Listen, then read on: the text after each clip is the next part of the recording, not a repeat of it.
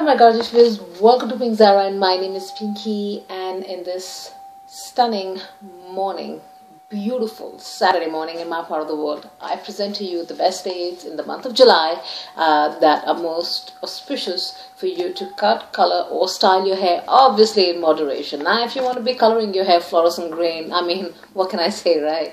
Uh, but just everything in moderation. So let me give you a little recap. The These dates are uh, from research.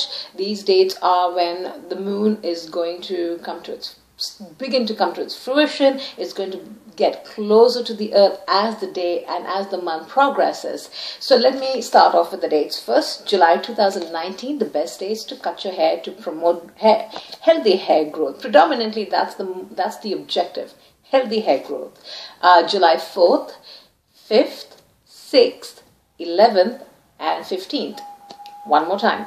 July 4th, 5th, 6th, 11th, and 15th and July 16th is going to be a full moon night. It's going to be, this full moon is going to be magnificent, mind-blowing, stunning. I have no, I don't think I have enough vocabulary to, to tell you, I mean, to even project the beauty of this moon. A, it's going to be the sign of Capricorn. Uh, yes, I'm being a little biased, but it's going to be beautiful is going to be actually very closer it's going to be closer to the earth than normal.